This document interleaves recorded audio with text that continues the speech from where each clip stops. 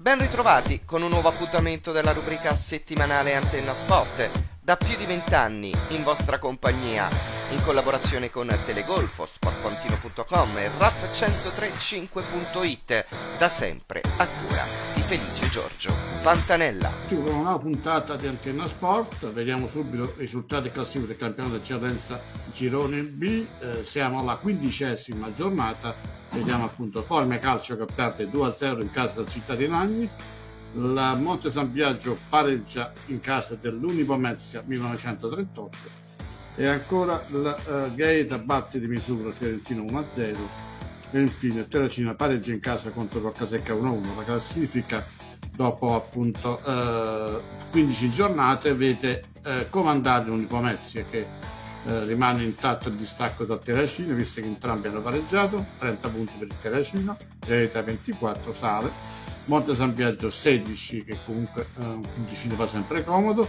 Città di Formia 10 punti, chiude la classifica del Ferentino con 3 punti. Partiamo dal campionato di eccellenza e dal Città di Formia, per noi da Formia, il corrispondente di Latina Editoriale Oggi, Paolo Russo.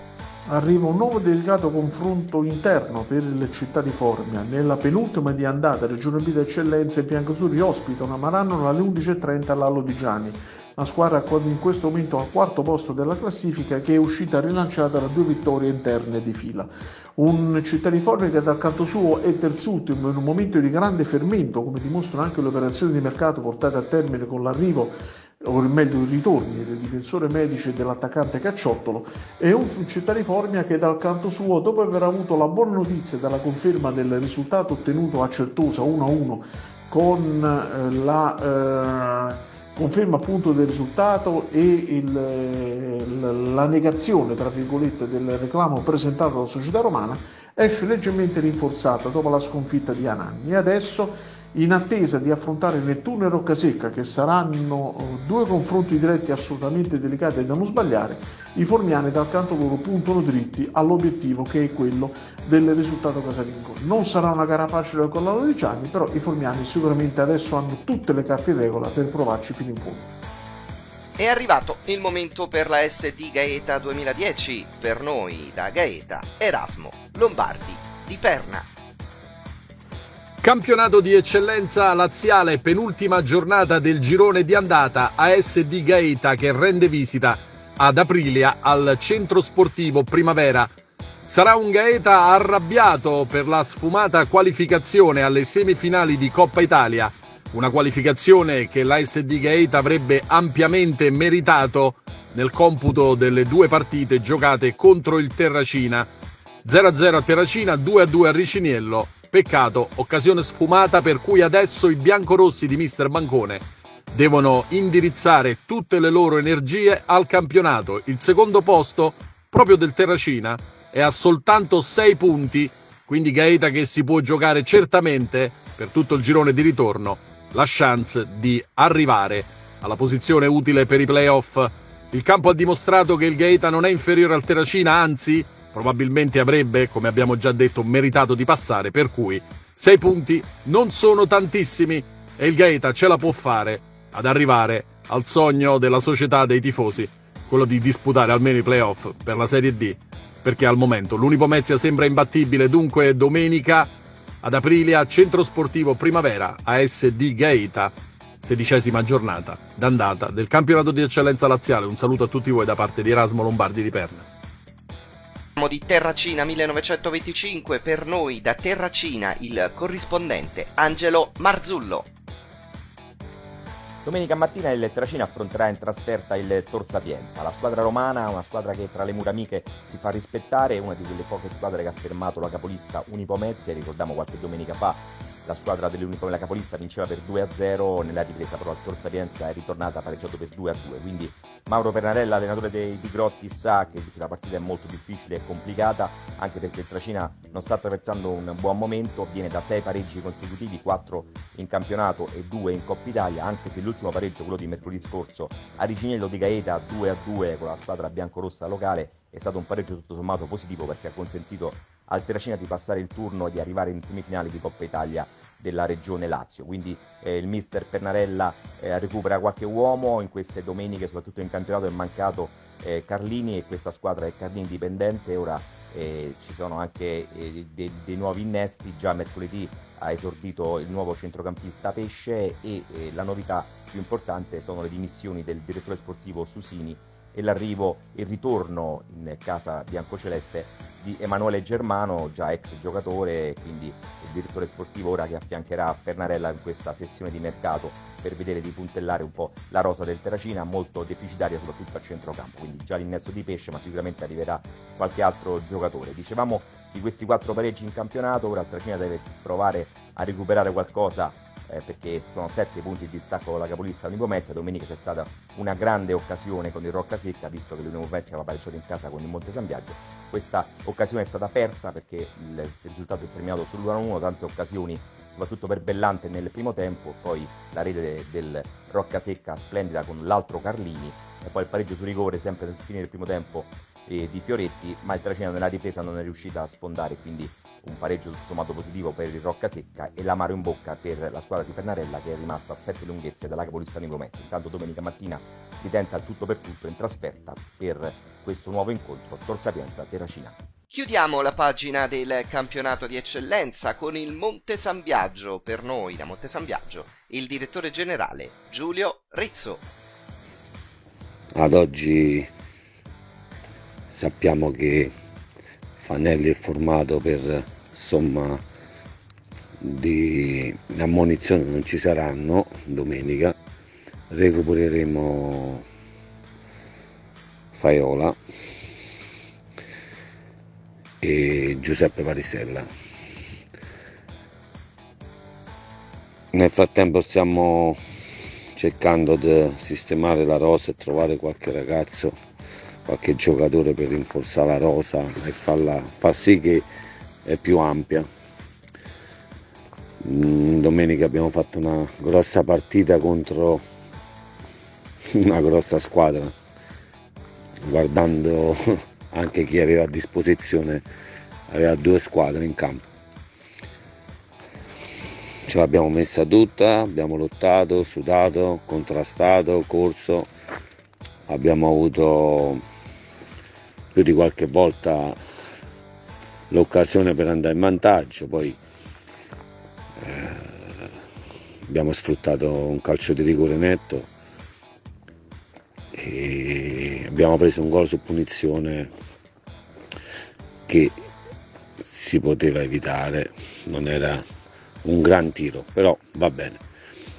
Poi secondo me c'era un rigore su sbaraglia alla fine e qualche giudizio dell'assistente di linea, non dico l'arbitro, l'arbitro grande personalità, bravo, e qualcosina, qualcosina si sta da rivedere, ma ci può stare, ci può stare, sono umani anche loro, accade, come sbagliamo noi, sbagliano i ragazzi, ci può stare una giornata di valutazione eh, su qualche, su qualche fuorigioco, su qualche valutazione troppo affrettata, si fa qualche errore, va bene, questo fa parte del gioco senza recriminare nulla.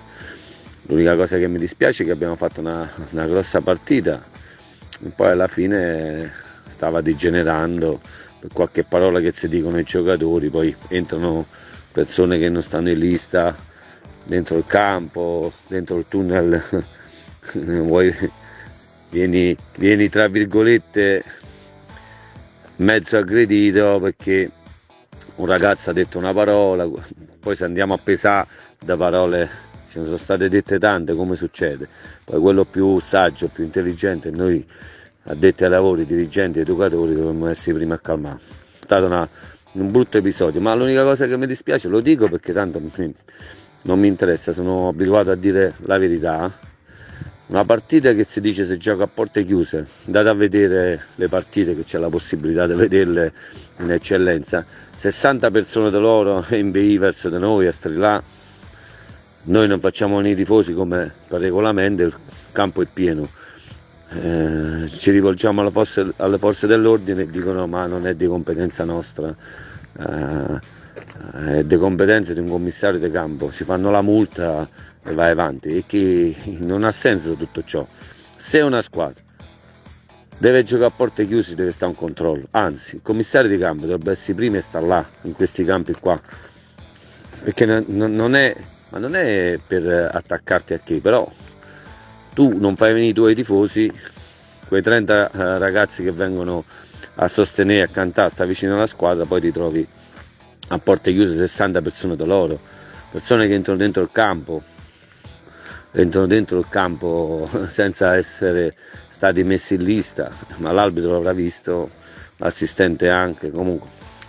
State un po' sta, questo, questi episodi un po' qua negativi che non mi sono piaciuti, poi del resto la partita la poteva vincere Pomezia, la potevamo vincere noi, è finita in parità, va bene così, abbiamo mosso la classifica ma abbiamo avuto un atteggiamento autoritario, loro si sapeva che squadra sono e, e hanno dei giocatori forti, forti, un bel gruppo.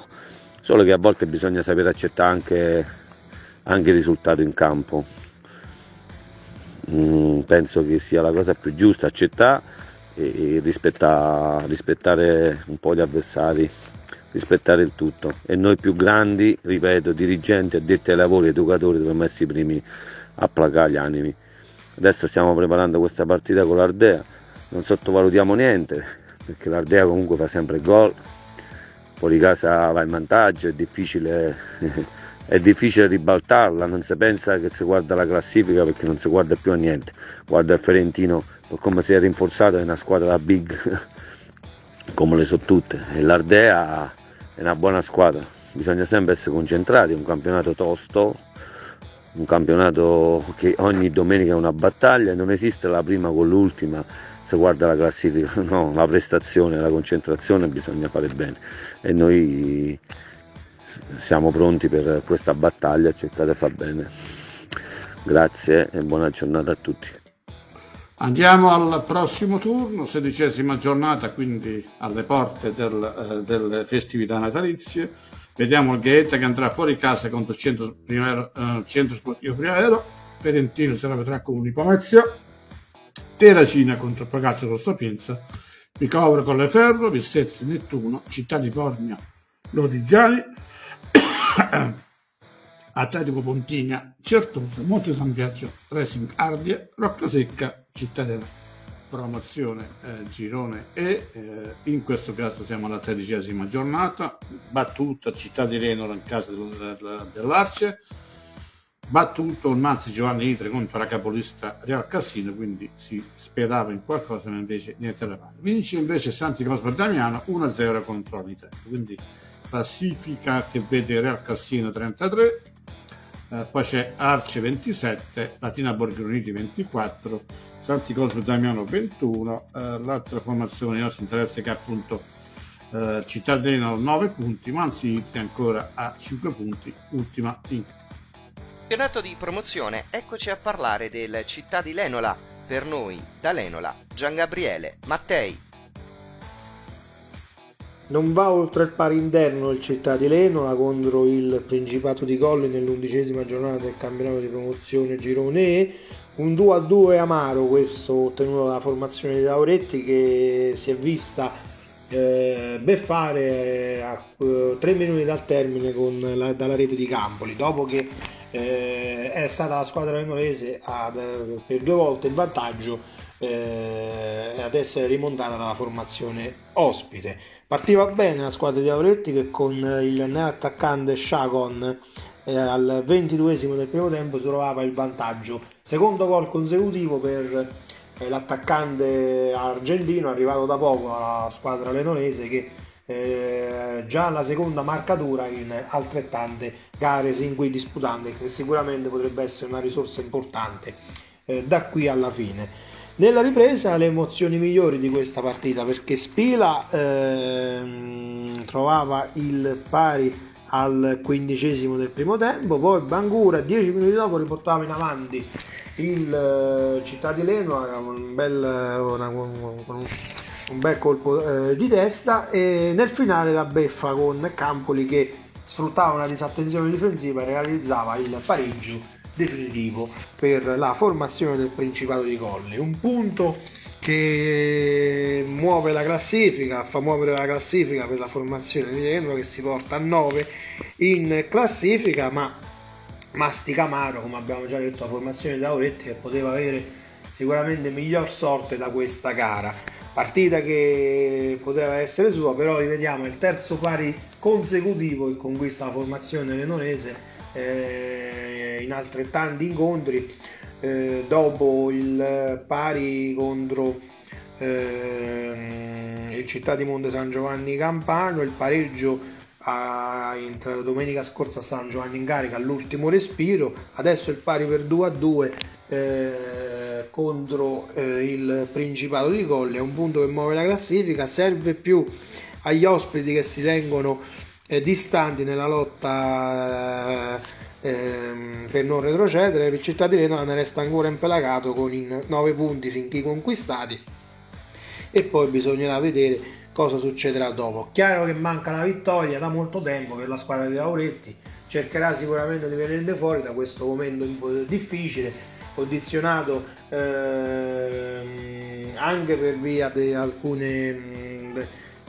dalle vicissitudini, vicissitudini societarie, ma anche da eh, vicissitudini a livello sportivo che cercherà quantomeno di eh, risolvere. Ci riferiamo soprattutto alla questione Montenero e la questione Sterparo che ovviamente ci si attendono novità perché la questione Montenero Città di Reno cercherà con il ricorso il prossimo 6 dicembre di far valere i propri diritti e cercare di rimediare il punto che aveva conquistato sul campo del Montenero e poi ci sarà da derimere anche l'altra questione Sterparo dove ci saranno da difendere quei tre punti sin qui conquistati. C'è anche da pensare al prossimo turno, che visto che la formazione norese andrà ad Arce ad affrontare una squadra in forma, eh, al terzo posto in classifica, che domenica scorsa ha vinto a Castro dei Volci 3 a 1 e che sicuramente sarà un impegno eh, probante per la squadra lenolese che vorrà misurarsi con una formazione di alta classifica. Poi la sfida eh, interna contro il Pontigna che sicuramente dirà molto delle ambizioni salvezza che la formazione lenolese si potrà, dovrà affrontare da qui fino al prossimo girone di ritorno. Spazio ora alla Manzi Itri, per noi da Itri, Antonio Capotosto. In casa Manzi Giovanni Itri basterà l'arrivo di Alessio Di Marco per ottenere una salvezza che attualmente non sembra facile? Il prossimo avversario dei ragazzi di De Filippis si chiama Virtus Guarcino, una squadra che in classifica ha 19 punti e che domenica scorsa ha vinto sul campo del quotato Priverno. Una formazione che nelle prime giornate di campionato ha pareggiato ad Anitella e poi superato tra le mura amiche l'ostico Castro De Volci. Ha vinto scontri importanti per la salvezza con l'Enora e il nuovo Coslatina, pareggiando poi a Monte San Giovanni Campano. Una squadra che ha messo a segno colpi importanti per la permanenza in categoria. Sarà l'ennesima montagna da scalare per il Mangi Giovanni Itri? Chiudiamo la pagina del calcio di promozione con il San Cosma e Damiano. Per noi da San Cosma il direttore generale Salvatore Capraro. Un'altra conferma che abbiamo ragazzi validi. Nonostante avevamo delle mancanze importanti a causa infortunio, abbiamo preso tre punti fondamentali in casa del Guarcino questo ci fa salire sempre di più a livello morale.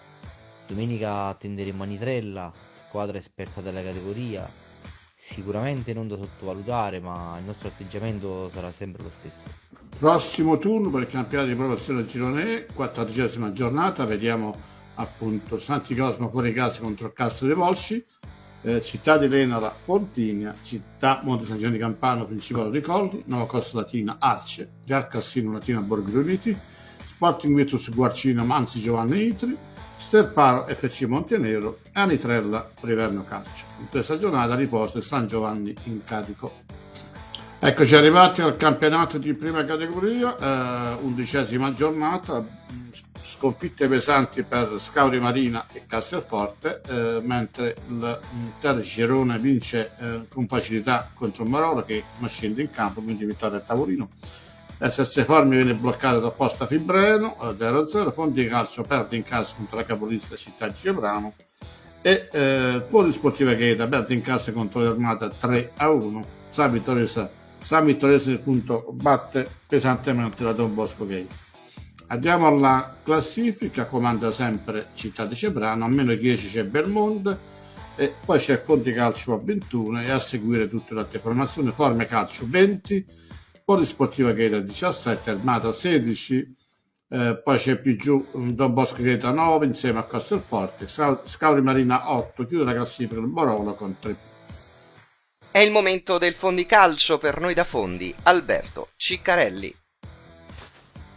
Fondi combatte, lotta, eh, continua a palesare un processo di crescita che ormai va avanti dalla prima giornata di campionato, ma eh, è costretto ad arrendersi, ad ammainare bandiera bianca al cospetto della capolista, finisce 0-2 al Madonna degli Angeli, vittoria dunque per gli ospiti, l'undicesima consecutiva.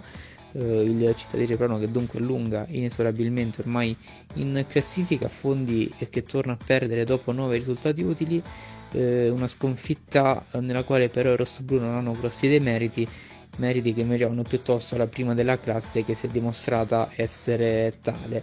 Non si tratta dunque di un passo indietro per uh, i ragazzi allenati da Ernesto Montella, si tratta ovviamente di un uh, battuta di arresto inevitabilmente dopo un filotto positivo che fa anche perdere la seconda posizione a vantaggio della Belmonte Castello che invece era stata battuta proprio con la Donna degli Angeli e sopravanzata in classifica appena una settimana fa, eh, sconfitta però eh, dalla quale si può e si deve eh, ripartire eh, cercando di trarne tesoro dalla lezione eh, rimediata proprio contro la prima in classifica che si è dimostrata per propri meriti di un'altra categoria ma fondi che per nulla ha eh, demeritato e anzi ha dimostrato di sapersela giocare alla pari contro quella che in questo momento è inevitabilmente la eh, più forte del campionato e si ripartirà dunque già da domenica eh, nel dodicesimo turno di eh, campionato con l'obiettivo di eh, ritrovare i tre punti e di riprendere la marcia.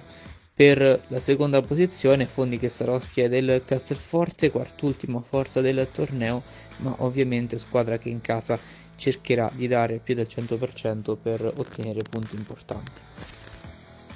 Ora parliamo di Scauri Marina con il direttore sportivo Andrea Cogliandro.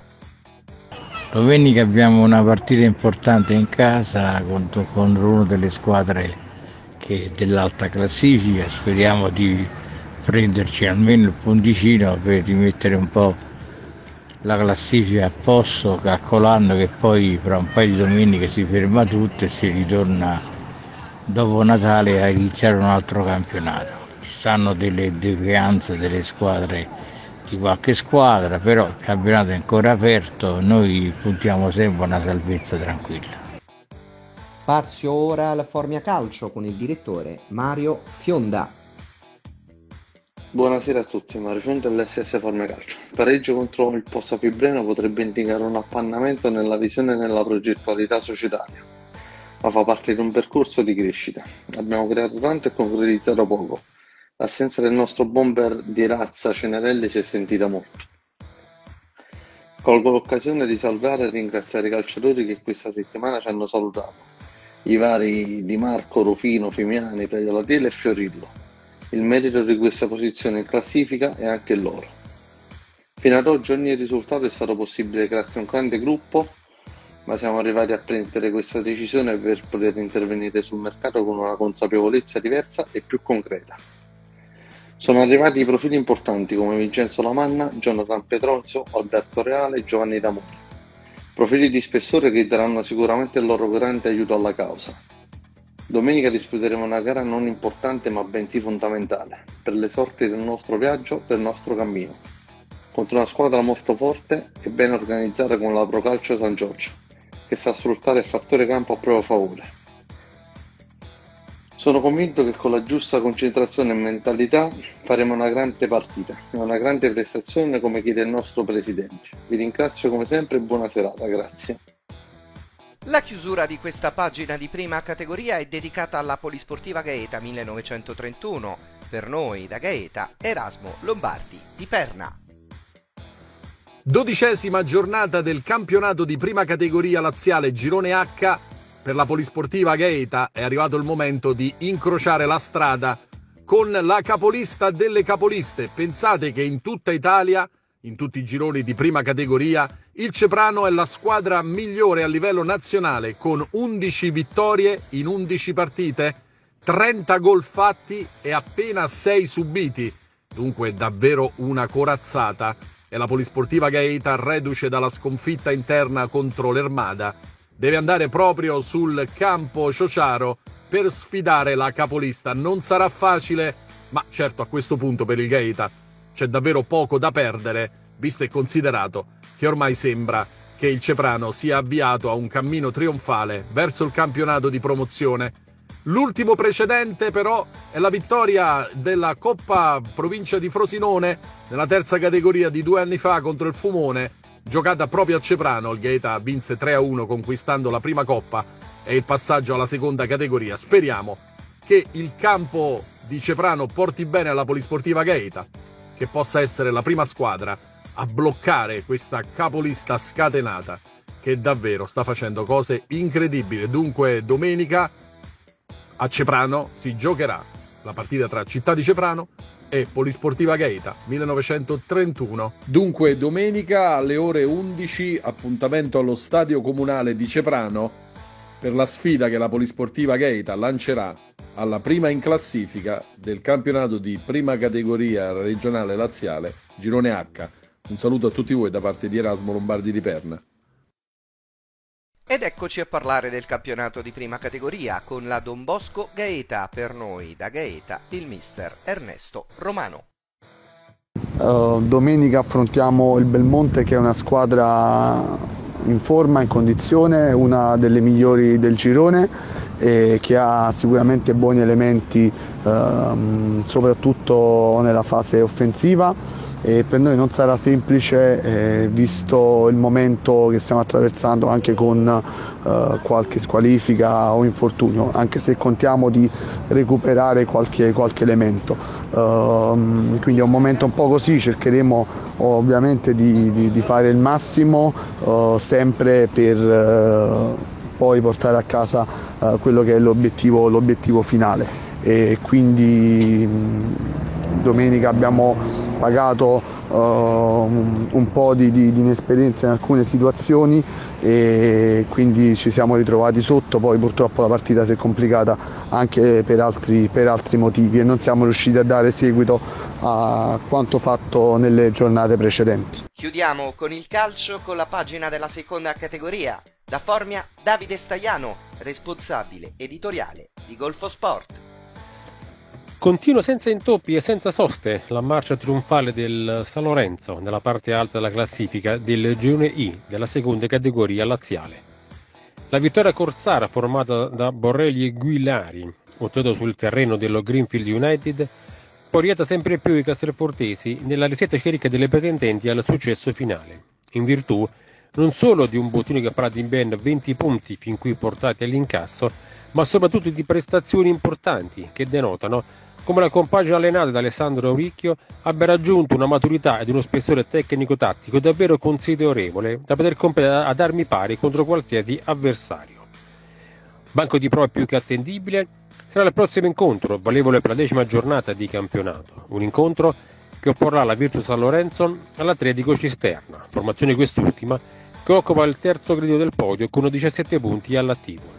Appuntamento importante e di prestigio quindi per i castelfortesi che sulle ali dell'entusiasmo e sotto la spinta del pubblico di casa vogliono portare a casa un risultato importante per poter continuare a fare bene ed a sognare in grande. E dopo il turno di riposo imposto dal calendario, torna in campo il Minturno 1936.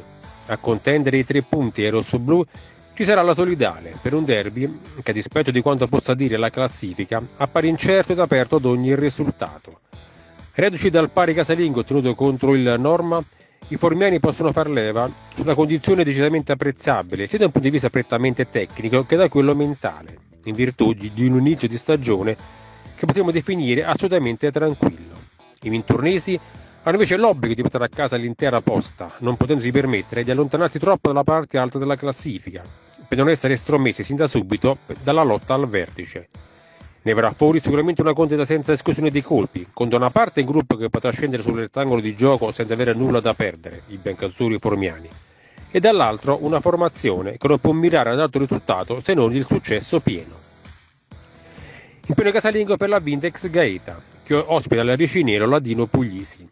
Reduci dal brillante e quanto mai meritato pareggio conquistato nella tana del Cisterna, grazie ad una rete del bomber Vattucci, i biancorossi hanno immorale altre giuste e dovute motivazioni per cercare di conquistare un successo che li potrebbe allontanare in maniera decisa dei bassifondi della gradatoria. Quasi di buono fatto intera di Cisterna dovrà essere di stimolo per Di Gabriele e i suoi ragazzi, che hanno dimostrato, in primis a loro stessi, di potersi misurare alla, alla, alla pari con tutte le altre compagini del girone.